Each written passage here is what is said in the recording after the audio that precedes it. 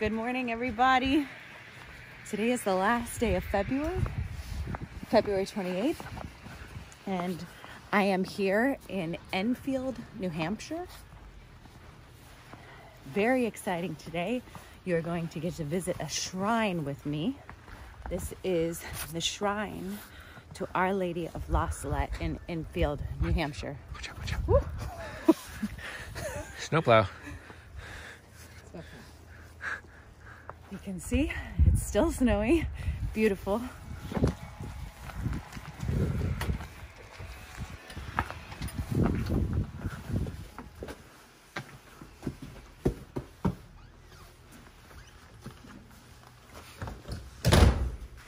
No holy water. It's gotta be here somewhere. Lovely.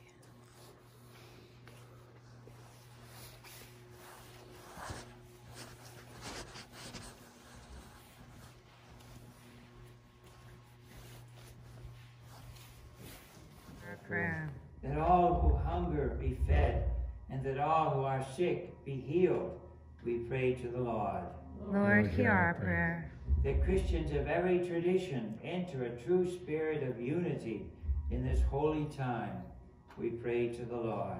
Lord, hear our prayer. That they may become for us the body and the blood of our Lord Jesus Christ. At the time that he was betrayed and entered willingly into his passion, he took bread, and after giving thanks, broke it and gave it to his disciples, saying, Take this, all of you, and eat of it. For this is my body, which will be given up for you. So today we are here at Our Lady of La Salette Shrine in Enfield, New Hampshire, and I'm got the pleasure to get to speak with Father who just celebrated Mass, and this is Father John Sullivan. Father, can you tell me a little bit about yourself and the shrine? Okay, sure, I'd be glad to. Um, uh, first of all, welcome. I'm glad you folks could be with us for Mass today. Yeah, well, I'm a, a missionary of Our Lady of La Salette. So we're one of the few men's communities that were started directly from an apparition of the Mother of God. So we started, well, she appeared in, in 1846 in, in France, way up in the Alps. I've been there a few times. wow. In, in uh, September 19th. And uh, her last words were, Make this message known to all my people. So it's a message of prayer, of reconciliation, which is a key word in our, our rule and our spirituality. And then, and then the works of mercy, you know, reaching out to others. So um, All good things for Lent too. Oh right? yes, oh you. I mean, we your- should be doing it throughout our life, right? Right, you could bet your Bible on that, baby. so Can I anyway, quote that? you can bet your Bible on that. I Like that. all right, or your rosary, whatever Yeah, you want. yeah. so. But anyway, um, yeah. So I was ordained in 1970, so I'm a, a priest for over half a century, and I'm, I'm Thank you. grateful, grateful for that. So I, I've worked in, in South America as well as here in, in this country. But I've been here at, uh, at, at La Salette and Enfield for the past seven years. From Boston, bow your heads, Boston. Holy land. Uh, but anyway, uh, but here, right, right behind us, is a is a beautiful example of the apparition. Or it's it's a major apparition that was fully approved by Rome shortly five years after. After And it- it's it not took one place. that you really hear about that often. I mean, I know personally, I didn't hear about Our Lady of La Salette until recently, actually. That's right. Yeah. So, Well, depending might- on- yeah. Where you are or how well she's being celebrated, but Yeah, well, in, in some some ways, it, it's a very biblical apparition, very strong references to her son. She she she appeared to two little children. If you just take a picture of the of, of the uh, the dialogue, that was Maximin. He was 11 years old, and Melanie, she was only uh, about 14 years old, and they were very humble children. And Mary is like a you know chip off the old block. I mean, she has she loves the poor. It's just yeah, just it's just beautiful. Anyway, she she picked those two little children to be her witness, of, of her message. So she first appeared weeping, sitting on a stone, crying. And that I don't know of another apparition where that appears so vulnerable. And, and why is she crying? It's because we don't respect the name of her son, because we don't go to church the way we could. We just don't obey him. And so she, uh, so she appeared, and they didn't know who it was. They just they thought it was a woman, just from the one of the little villages that she had been beaten by her son, perhaps, and she had gone out to the hillside to, to cry. And so, but she stood up and she said right to the children, she says, Come near, don't be afraid. I have I have good news for you. And I find that so, so biblical, you know, how often Jesus says, Don't be afraid, and I give you my peace. So she said, so so the kids ran up right close to her, and that's that's the dialogue scene. And she uh, and she went on talking about, uh, you know, that the, the, the people who drive the carts, they they swear and they take my son's name in vain, uh, and they and the people, just the old people, go to church on on, on, on during the winter time, and other people make fun of it. And she, she said, and these are the things that make the arm of my son so heavy. And so she's calling for reconciliation, for healing. And so mm-hmm. that that's the La cross, which is very unique. And she wore that right on her breast. You can see it. Mm. Uh, and, and what we think, it was never explained to us, but we believe that the, the hammer is how we continue to crucify Jesus in today's world, mm. you know, through the violence and, and arrogance and so on. But our work is reconciliation, the pliers, you know, taking out the nails, trying to heal the, the, the, the, the discord between God and us, but also between us and one another. You know, mm. trying to overcome those divisions to bring us to that the prayer of oneness, which is Jesus' prayer, which I mm. love. That that was I put that on my ordination card. I pray, Father. Yeah, sorry for my Irish emotion, but You're so you're so precious and full of the Holy Spirit. Thank you. yeah, but Thank you for I sharing. pray that they may be one, as you and I are one, that the world may believe that you love them even as you love me. And I find that such a beautiful prayer, and that's that's our mission, all of us, you know, married or single or priest or sister or brother, we we all have that mission to be a sign of that oneness, uh, each with our own personality. So I'm. I'm grateful to have you guys here and blessings on your travel. Thank too. you. Can you tell me when this shrine here was established? Uh, yes, yeah. Actually, we're uh, right across the street. It it wasn't too bad snowing, but you, there's a big, tall building over there. It's called it's called um, the Great Stone Dwelling, and that was the Shaker community, and they they called this the uh, they called it the, uh, the the chosen Vale, and they came here before the Civil War, and they. Um, and they, they formed several Shaker communities around, especially on the East Coast. And but that building is the tallest building that they ever put up. It's five stories, and that was there where they would dance. That the Shakers would they call. Sometimes they would go into ecstasy, hmm. and that's how they called them the Shakers. And it was the men and women separated, but they. But anyway, so they they left in, in about 1923 1924 mm-hmm. after being here 150 years and they they farmed this land and they were very hmm. industrious real respect between women and men and community and so on so when they left uh, they they gave us the property we bought it from them at a very good saving uh, because they knew we were christian and so we would continue that you know, sort of their focus on God. So we've been here. We, we the shrine is almost a, a hundred years. In 1920, 27, 28 is when we came. And we, we first it was a, a, a minor seminary, so a, a, a student studying to be priest for high school. Uh, we always had a beautiful camp.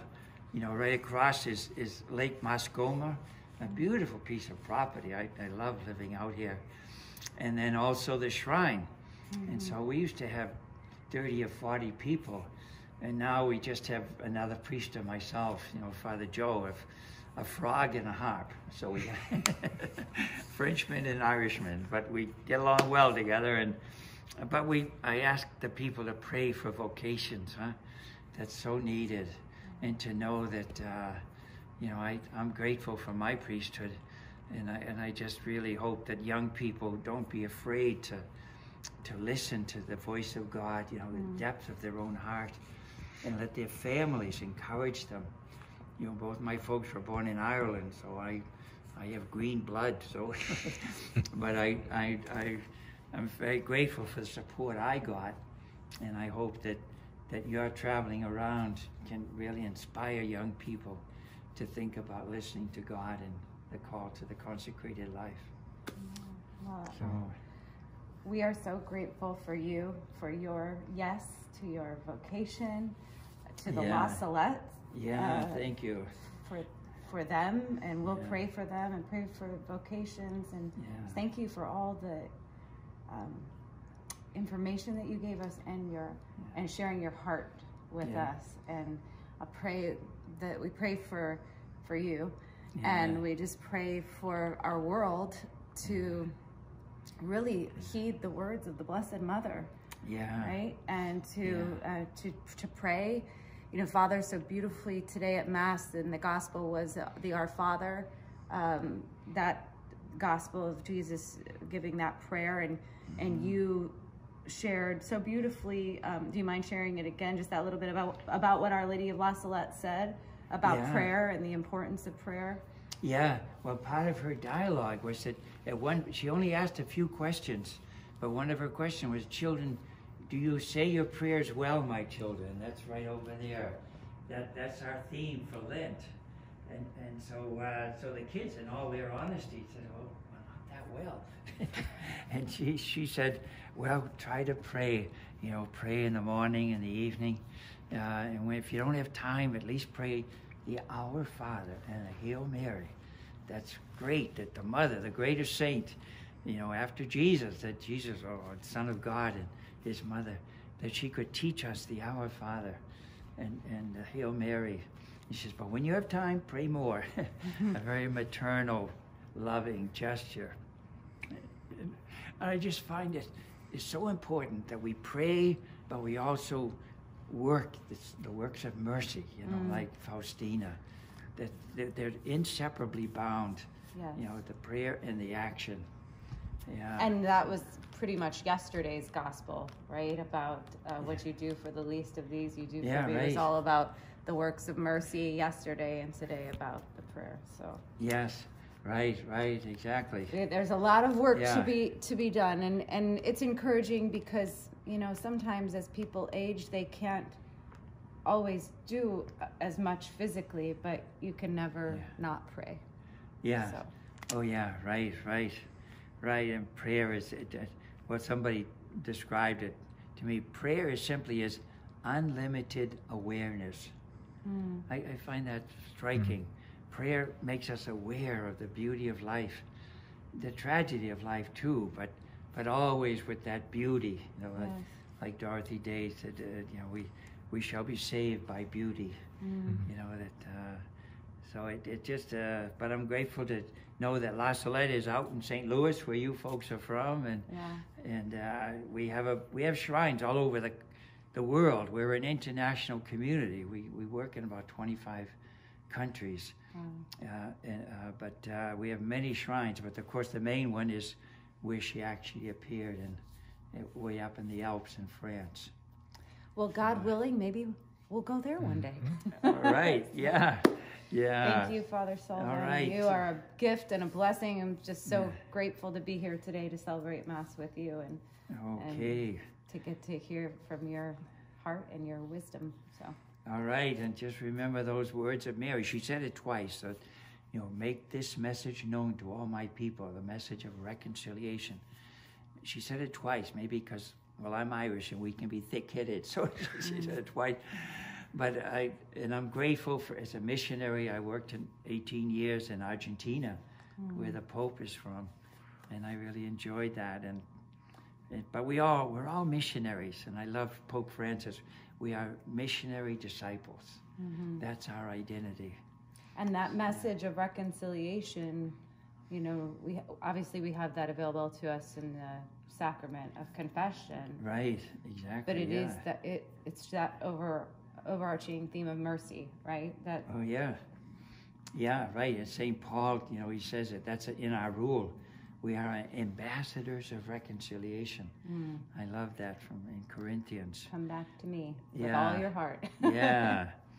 Amen. Amen. God bless you and thank you. Okay, you're welcome. Can I bless you both? You Please guys bless, sure. and you'll bless everybody who's watching yeah. too. all right. Well, may the Lord bless you all, and, and especially on this shrine dedicated to the apparition of Mary. May, may her love for her son be an inspiration to all of us to really be signs of the unity of God, to love as he has first loved us. So may the Lord bless you both and all the people you care about. In the name of the Father, and of the Son, and of the Holy Spirit. Amen. Amen. Mm, thank you. Thank you. All right. Oh, yours. All right. this little ladybug. I just went to the bathroom here at the shrine, and this little ladybug climbed on my book in the bathroom in this freezing weather. I think that's a good sign. I love all God's creatures. Today is the first Tuesday of Lent, and as Father mentioned, this is one of the ways, the first way that our Blessed Mother appeared to the two children and at Our Lady of La Salette. And I just think it's a beautiful statue, so we're gonna stand by her and hopefully comfort her with our, our prayers. So we pray together in the name of the Father, Son, and Holy Spirit. Amen. At the beginning of Lent, I asked my confessor for some mortification for this time of fast. I was told not to cut down on my food, but while eating, to meditate on how the Lord Jesus on the cross accepted vinegar and gall. This would be my mortification. I did not know that this would be so beneficial to my soul. The benefit is that I am meditating constantly on his sorrowful passion. And so while I am eating, I'm not preoccupied with what I am eating, but I'm reflecting on my Lord's death. And Jesus said to me, My daughter, know that your ardent love and the compassion you have for me were a consolation to me in the Garden of Olives.